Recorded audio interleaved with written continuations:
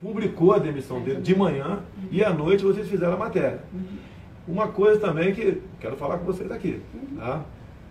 É, vocês seguiram ele sem problema nenhum. É, se, se, a pessoa está se comportando como bandido, filme escondido, agora, eu não sei porquê, no último dia, vocês não chegaram que é comum, cara limpa, SBT, o senhor trabalha na LESP em São Paulo ou não? Ele ia responder, se ele falar não, está morto. Se fala assim que você está fazendo aqui. Está para resolver o assunto. É, eu não sei te dizer, porque foi a equipe de São Tudo Paulo bem. que fez a matéria. Agora, o que, que eu entendo? A matéria não é para atingir ele. Nem se fala no deputado. O responsável na LESP por, pelos comissionados, que pode ser de 16 a 32 funcionários, é exclusiva do deputado estadual. Ele que decide. Ele tem que ser perguntado por que contratou o Renato. E não eu que é comum você falar, não sabia de nada, dá de petista, né? Eu, eu desconfiava, lógico, se ele apoiou esses dois caras lá, alguma coisa está acontecendo. Pô, o cara deixa de apoiar o sobrinho dele, que é um policial federal, um garoto, não é porque é meu filho, não, bonito, inteligente, passou, fala inglês, fala espanhol, passou de prima para ordem, passou de prima para policial federal, tem tudo para fazer um bom trabalho, como está fazendo. Ele resolveu apoiá-lo? Repetindo, eu queria garantia de legenda para prefeito. Falei, ó, na época eu falei para ele, prefeitura em Miracatu não tem televisão.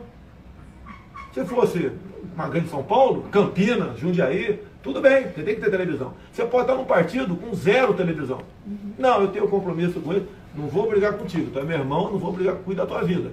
E eu demonstro aqui que ele apoiou esses dois realmente lá.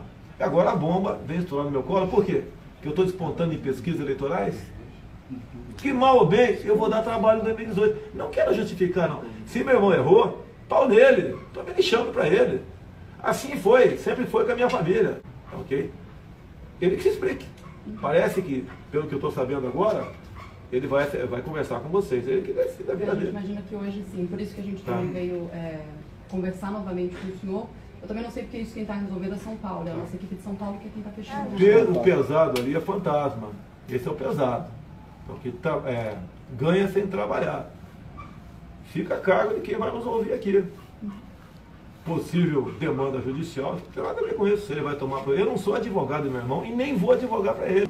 Ok? Mas, lógico, tem que me inteirar do que está acontecendo. Uhum. E... Até porque a gente está questionando o senhor sobre isso. Tá, então, tudo bem. Deputado, primeiro, na verdade, eu queria entender como que o senhor viu essa situação toda, né? O senhor é, deu a, a, própria entrevista ontem já para o jornal falando que o senhor não sabia de nada.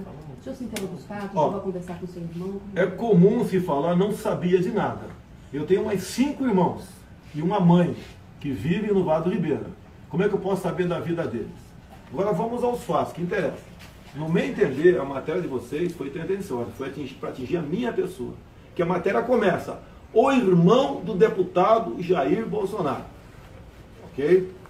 Vamos lá. O meu irmão, na campanha de 2014, não trabalhou para o meu filho, Eduardo Bolsonaro, policial federal, aprovado no exame da ordem, fala inglês, fala espanhol, e é um garoto bonito, jovem, que está fazendo um excelente trabalho, como vocês acompanham hoje em dia lá em Brasília. Ok? Ele apoiou o deputado estadual, que é o André do Prado, que é o responsável pela nomeação dele, não sou eu. Num primeiro momento em Brasília, vocês, a tua colega, veio querer vincular com qualquer nepotismo cruzado. De imediato, mandei via lista dos, dois gabinetes. Ela não quis tomar conhecimento da lista. Então, e eu comprovo agora para você que meu irmão trabalhou não só para André do Prado, nas suas horas de folga, sábado e domingo, bem como trabalhou com o deputado Márcio Alvino Federal. Eu vou te dar fotografias de campanha de santinhos confeccionado com os três: André do Prado, Márcio Alvino e Renato Bolsonaro, meu irmão. Então, meu irmão trabalhou para ele. Tanto eu comprovo para você também que dados do TSE, em Miracatu, que é uma cidade pequena, o senhor Márcio Alvino teve 702 votos e o meu filho teve 76 votos. Tentei convencer meu irmão a apoiar o meu filho, sobrinho dele, com todos os predicados positivos que meu filho tinha. Ele falou que tinha compromisso com o PR e queria legenda para agora 2016, que disputaria a prefeitura de Miracatu.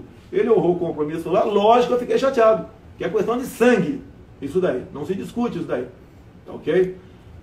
Mais ainda, Não foi coincidência, foi coincidência ou não. Eu, pelo que eu levantei, você realmente, 10 ou 12 ou 15 dias, estavam no encalço dele, pelo que eu pude levantar aqui, comprovado aqui. No dia 4, ele pediu demissão, tentando, então, visando antecipar a tua desvinculação, para ele poder disputar a prefeitura lá de Miracatu. No dia 7 de manhã, o diário do, da, da LESP publicou a demissão deles. E à noite vocês botaram a matéria. Ninguém correu aqui para demiti-lo por possível vazamento de informações por parte de vocês. A outra coisa que pesado é a questão de funcionário fantasma. A frequência desses funcionários também é, é feita pelo deputado estadual. E pelo que eu vi na, na LESP, ou você assina diariamente um livro, que tem para os funcionários de lá, e do resto do Estado, a assinatura é semanal, e segundo me informaram, não tenho certeza agora, em alguns casos até mensal. Então, tá, no meu entender aqui, não estou explicando a questão do meu irmão, mas ele tinha o seu trabalho lá. Mais ainda, okay? eu entendo que ele foi contratado, não vou entrar no mérito do valor do salário, para mim é, é, é, abusivo até, não vou discutir isso contigo aí, para mim é abusivo, tá? tendo em vista o nome dele no Vado Ribeira. O meu irmão é muito conhecido, tem, pelo que eu sei, quatro comércios lá, antigo na região, já foi vereador em Praia Grande, foi duas vezes candidato a deputado federal, e o trabalho dele, junto a esses parlamentares, é traduzido nos finalmente com votos. E todos os dois parlamentares aqui, pelo que eu levantei, dobraram a sua votação do Vado Ribeiro depois que tiveram Renato Antônio Bolsonaro do lado dele. E terminando e concluindo, estou à tua disposição. Se fizer qualquer coisa errada, se ele ganhar na Mega Sena, assaltar um banco ou doar todos os seus bens para uma instituição de caridade, isso compete a ele e não a mim. Qualquer crime, porventura, ele tenha cometido, não pode ser extensivo à minha pessoa. Entendo mais ainda que a minha ascensão no Brasil, você está me vendo agora sexta-feira em casa, mas domingo já estarei em Cuiabá, Campo Novo de Parecisco, com agronegócio. O pessoal abandona o agronegócio porque não tem densidade eleitoral, mas é a locomotiva da economia brasileira que inclusive são heróis, que trabalham o tempo todo de olho de bandidos, que são o pessoal do MC que está lá fora. Então faço meu trabalho nacionalmente e a imprensa brasileira. Em 10 aeroportos já fui, recebido por 500, 600, 1.500 pessoas, não dão uma, um segundo para falar da minha aceitação que estou tendo pelo Brasil. Um caso como esse parece que é direcionado, parece, mas vocês têm que investigar, qualquer suspeita tem, mas foi para atingir apenas a minha pessoa. Deputado, eu queria só voltar um pouquinho na questão da própria exoneração, porque o senhor até é, falou a respeito de que ele teria pedido essa demissão até anteriormente tá. da matéria ser veiculada. Queria entender, na verdade, primeiro o que o senhor acha dessa exoneração, desse pedido de demissão dele, até porque se fosse por conta da prefeitura, por concorrer à prefeitura, ele poderia é, esperar um pouco Podia, mais. Poderia esperar um pouco mais. O pessoal resolve antecipar, porque já tem os preparativos agora. Ele vai, vai fazer reuniões, como estava fazendo as reuniões, e até poderia né, ter uma incompatibilidade, porque enquanto você for comissionada, você só pode fazer campanha, tá? o seu candidato, sei lá quem for, nos seus horários de folga na semana, ou sábado, domingo e feriado. Ele, no meu entender, você pode perguntar isso para ele, ele estava avisando exatamente isso aí. Não sou advogado do meu irmão. Pau nele se tiver qualquer coisa errada. Qual que o senhor acredita que deveria ser a punição, então, se realmente houver alguma coisa errada? Eu não posso falar assim, né? é, se ele é fantasma, primeiro tem a responsabilidade do, do, do, do, deputado. Não é à toa, tá ok? Que eu sou um alvo compensador especial para a esquerda. A esquerda está fazendo um trabalho nas mídias sociais, né? Em cima de mim.